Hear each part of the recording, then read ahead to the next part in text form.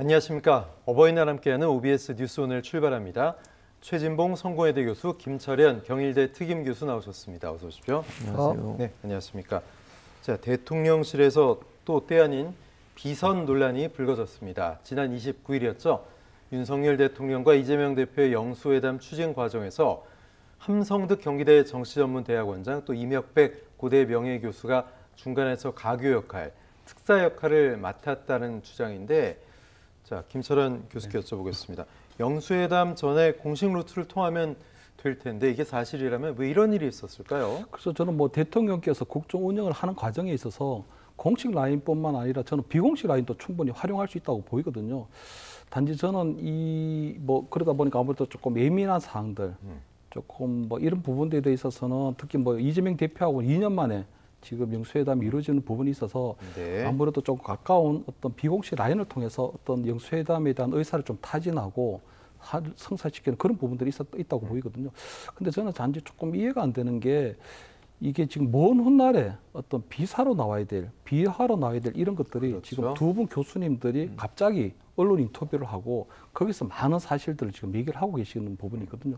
그래서 사실은 지금 두 분의 어떤 일방적인 주장이기 때문에 왜냐하면 지금 민주당이나 아니면 대통령실에서는 그런 것 자체를 물밑 라인이 없었다고 공식적으로 부인하고 있는 상황이기 때문에 네. 사실은 조금 이 부분에 대해서 평가하기는 조금 조심스러운 부분이 있지만 어쨌든 대통령하고 어떤 함성덕 교수하고 어떤 개인적인 친분 관계 그리고 함성덕 교수와 또 이명백 어, 민주당 전 공관위원장 어떤 예. 개인적인 관계 이런 부분들을 고려할 때 마냥 무시할 수고 넘어갈 수는 없다. 특히 두 분이 어쨌든 대학 교수 신분이시기 때문에 네네. 어쨌든 그런 부분에 있어서도 그냥 무시하고 넘어갈 수는 없다. 이런 생각이 듭니다. 예, 두 분이 아주 가까운 분이고 함성득 정치전문대학원장과는 뭐 윤석열 대통령과 또 지근 거리에 살면서 가깝다. 그래서 이랬다는 건데 지금 김철현 교수 말씀하신 것처럼 굉장히 이례적입니다. 이제는 말할 수 있다. 나중에 나올 법한 그런 얘기들이 본인들 입을 통해서 이렇게 흘러나왔단 말이죠. 그러니까요. 그러니까 이게 만약에 정말 비선이고 정말 필요해서 이렇게 비선 라인을 통해 했다고 하면 조금 지난 뒤에 나와야 돼요. 그러니까요. 역사적으로도 뭐 예를 들면 윤석열 정부가 끝난 뒤에라든지 이럴 때 뭐 예를 들면 지난 정권에서 이런 일이 있었다든지 이렇게 나와야 되는데 지금 이거 이, 이 영수회담 있은 지 얼마 되지도 않았잖아요. 그런데 이런 얘기가 나오는 것 자체는 대단히 저는 부적절하다고 생각해요.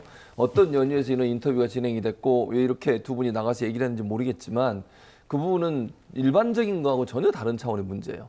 그래서 좀 이해가 안 되는 부분이고 또 하나는 대통령실에서는 이 기사가 나오자마자 그냥 전격 부인했습니다. 이런 일이 없었다라고. 근데 사실 이 두 분의 어, 교수님들이 연세도 있으시고 오늘 경력도 있으신 분이잖아요. 경륜도 있으신 분. 이런 분들이 네. 완전히 없는 말을 했을 가능성은 없잖아요. 그렇다고 하면 어느 부분이 좀 잘못되든 이렇게 얘기하는 전면적으로 다 그런 일이 없었다고 얘기해 버리면 사실은 의혹이 더 커지는 거거든요. 그래서 이런 점에서 본다고 하면 사실 이제 이렇게 가능한 한 공신 라인을 다 해서- 통해서 하는 게 제일 좋다고 저는 생각해요. 뭐 정무수석이나 비서실장, 뭐 이재명 대표 비서실장이나 어, 대통령실의 정무수석이 만나서 얘기하고 논의하고 또 이런 의견들도 의제들도 얘기하고 또 의제가 어, 의제 조율하면서 만나기도 했잖아요. 그런 과정에 충분히 논의될 수 있는 문제를 이렇게 굳이 비선이라고서 얘기하는 이런 부분을 하는 것도 좀 의아- 의아스럽고 그런 부분에 대통령실은 아니라고 부인하고 있고 두 분은 또 그 있었던 일을 얘기하고 있고 네. 이런 여러 가지 상황이 대통령실의 국정 운영이나 아니면 이런 야당과의 어떤 협력 관계, 협치 관계 이런 문제에 있어서 여러 가지 문제점을 노출하고 있거든요. 앞으로 이런 부분들이 다시는 나오지 않도록 해야 돼요. 만약 있다 하더라도 이게 이렇게 공개돼 가지고 언론에 보도가 되고 이것 때문에 여러 가지 지금 논란이 되고 이런 일이 벌어지는 것은 대통령한테 엄청난 부담이에요. 국정 운영에도. 그래서 이런 부분들은 자제할 뿐만 아니라 있다 하더라도 이런 부분들이 이렇게 공개적으로 나오는 것을 나오지 않도록 하는 방안들을 함께 고민해야 될 시기라고 생각합니다. 네, 사실 뭐 의제가 정해진 것도 아니고 그냥 어, 두 분이 만나서 여러 얘기를 하고 또 말을 듣겠다 이렇게 얘기했는데 사실 이것도 이렇게 대통령실에서 부인을 하니까 오히려 좀 이상해진 거지. 그냥 여러분들의 말을 듣는 과정에서 이분들이 가깝다니까 좀 도움이 될 만한 이야기를 들었다. 이 정도로 정리했으면 더 좋지 않았을까요? 뭐 그랬을 수도 있다고 생각해요. 네. 왜냐하면 아까도 말씀드렸지만 이 두 분의 교수님들이 갖고 있는 뭐 경륜이나 정치적인 영향력 이런 걸 생각하면 사실 전혀 거짓말을 할 수는 있는 상황은 아니라고 그러니까요. 보이거든요. 근데 전면 부인을 해버리면 그럼 이 자체가 사실은 아- 사실이 아니라고 주장이 돼버리는 거니까 더 이제 의심을 받게 되는 거죠. 뭐 일가에서 원희룡 전 장관 비서실장 무산이 뭐 이게 또 연관이 있는 거 아니에요? 이건 어떻게 보세요? 그것도 사실은 좀 논란이 돼요. 왜냐면 네. 이러니까 보수 진영에서도 불만이 나와요. 그러면 인사하는 거를 이재명 대표한테 허락받고 하는 거냐, 인사하는 걸 이재명 대표한테 보고를 하는 거냐 이런 논란이 또 생겼거든요. 그러니까 이건 예를 들어서 어, 공식 라인에서 이럴 수 있다고 봐요. 협치 차원에서 공식 라인에서 민주당과 아니면 국민의힘의 어떤 라인이 만나서 이번에 뭐 예를 들어 총리 후보에 대해서 여당과 야당이 협- 협력해서 어떤 부분을 만, 어, 좀 추천하자 이렇게 네. 얘기할 수 있다고 저는 봅니다. 그걸 누가 비판하겠어요? 저는 비판하지 않는다고 생각해요. 어찌 보면 그건 국민들이 좋게 생각할 수 있는 부분이라고 생각이 들거든요. 그런데 이게 아니라 비선 라인에서 누구는 비서실장으로 안 되고 누구는 되고 또 예를 들면 뭐 이런 얘기까지 있었다는 거 아닙니까? 이재명 대표한테 총리 후보 몇 명 좀 추천해 주시면 그 중에서 한 명 하겠다는 그런 뉘앙스의 말도 했다는 얘기까지 나오고 있어요. 이거는 정말 인사권 자체를 그러면 야당 대표한테 다 양보한 게 돼버- 돼버리는 거잖아요. 그럼 이건 이 보수 진영 내부에서도 엄청난 어, 비판 그리고 네네. 어, 논란이 있을 수밖에 없는 얘기인데 이런 얘기들이 나오게 되는 것 자체가 큰 문제예요. 이게 있었다 하더라도 이런 얘기들이 비선에서 그치는 게 맞지 이게 어떻게 언론에 공개가 되고 인터뷰를 통해서 이게 나오게 되냐고요. 예. 이런 여러 가지 부분들은 대단히 미숙함을 보여주는 상황이라고 생각합니다. 네, 말씀하신 것처럼 영수회담 비선 메신저 논란이 불거지자 보수 특히 국민의힘 당원들도 뿔이 났습니다. 당원 게시판에 대통령에 대한 비난 또 탈당 요구까지 쏟아지고 있는데 김철은 교수님 네. 이 파문이 어디까지 갈까요? 그래서 지금 보면 이게 이 보도되고 있는 내용들이 사실이라면 그걸 전제로 하고 있는 부분이거든요. 네. 일단은 뭐 대통령실이나 민주당에서도 이 부분에 대해서는 공식적으로 부인하고 있기 때문에 사실은 지금 현재까지는 일방적인 조금 주장에 불과한 겁니다. 근데 저는 만약에 이 뭐 함성도 교수나 어떤 이명백 교수의 어떤 사회적 위치라든가 이런 부분들을 볼 때 이 부분을 단 마냥 무시할 수는 없지만 전이 부분에 좀 상당히 좀 정치적 의도가 좀 묻어 있다고 보이거든요. 왜냐하면 이명백 교수하고 함성대 교수가 사실은 넥타이까지 깔맞춤을 해서 언론 인터뷰를 한 거거든요.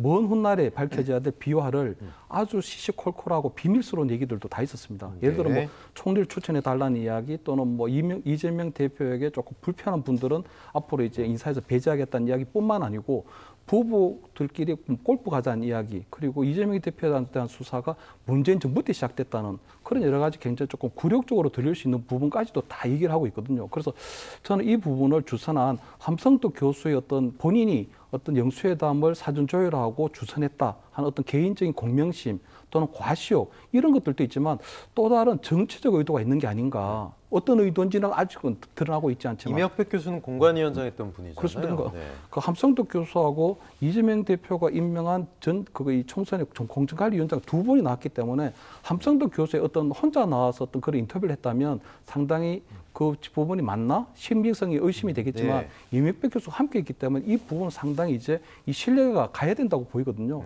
그렇기 때문에 저는 이 부분은 상당히 무슨가에 좀 숨어 있는 정치적 의도가 있을 수 있다.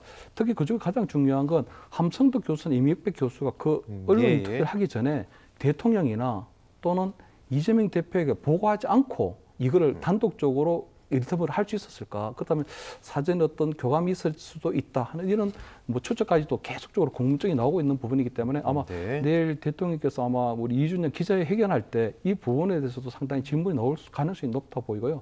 이 영수회담점에 실질적으로 밀사가 있었는지 네. 또는 함성도 교수를 통해서 실제 그런 제안이 있었는지 여부에 대해서도 아마 기자들의 어떤 송곳 질문이 이어질 가능성이 높고 아마 거기에 대해서도 아마 대통령께서 시원하게 아마 해명해야 될 그렇게 뭐 되지 않을까 그래 보입니다. 예, 이게 만약 사실이라면 뭐 비서실장이라든가 지근거리에서 보조하는 분들은 굉장히 뻘쭘할 수 있는 상황인데 지금 김철현 교수 말씀대로 최 교수님 어떤 정치적인 의도까지 있었다고 보세요? 그건 알 수가 없죠. 지금 상황에서는 정치적 의도가 있었다면 이제 두 분이 어떤 정치적 의도에 의해서 했다는 게 되는 거잖아요. 인터뷰를 그렇죠. 아니면 뭐 어디선가 그러면 인터뷰를 조율해주고 이 두 분이 가서 인터뷰하게 만들었다는 건데 그거는 뭐 단정적으로 얘기할 수 있는 상황은 지금은 아니고요. 또 왜냐하면 뭐가 증거가 없기 때문에 뭐라고 말씀을 못 드리겠는데 그렇다면 더 큰 문제라고 저는 생각해요. 만약에 어떤 정치적 의도와 목적 가지고 이런 행동을 했다고 하면 이것 자체도 큰 문제라고 저는 생각하거든요. 그러니까 누군가에게 이익이 되고 누군가에게 피해가 되는 이런 상황을 만들기 위해서 그렇게 했다는 것밖에 안 되는 것인데 또는 뭐 의도했던 대로 안 돌아가더라도 이런 얘기까지 했다라고 하는 부분을 보여주기 위해서 그랬을 수도 있고요. 그건 뭐 알 수가 없으니까 지금 상황에서는 네. 뭐라고 말씀을 못 드리겠는데 조율했다면 그 조율하는 것 자체도 큰 문제예요. 제가 아까도 말씀드렸지만 비선을 통해서 뭔가 얘기할 수도 있다고 봅니다. 그러나 가능한 한 공식 라인을 하는 게 제일 좋아요. 그러나 공식 라인이 잘 안 풀리는 문제를 예를 들면 비선을 통해서 좀 더 쉽게 풀기 위해서 할 수는 있지만 그게 이렇게 금방 드러나고 또 금방 이렇게 공개가 되고 그것도 공개적으로 언론 인터뷰나, 인터뷰라는 방식을 통해서 한다는 것은 이건 납득하기 어려운 부분이다. 네. 그래서 국제 운영에 상당히 큰 부담이 될 수 있다고 저는 보기 때문에 만약에 경우에 정치적 의도를 갖고 있다면 그것에 대해서 밝혀낼 필요가 있죠. 그리고 그런 부분이 있다고 하면 그거는 정치적으로 큰 비판을 받을 수 있는 지점이라고 생각합니다. 알겠습니다.